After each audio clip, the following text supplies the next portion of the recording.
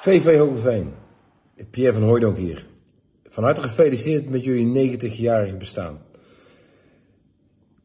VV Hogeveen, voor mij een, uh, een amateurclub die speciaal is. En om de dood eenvoudige reden dat ik ooit mijn debuut in het betaalde voetbal uh, heb mogen maken uh, als speler van RBC in de bekerwedstrijd tegen Hogeveen kwam erin bij 1-1. En zoals je misschien zult raden, uh, was het ook gelijk mijn eerste doelpunt ooit in een officiële wedstrijd in betaalde voetbal. Dat zijn mijlpalen die, uh, die je nooit vergeet.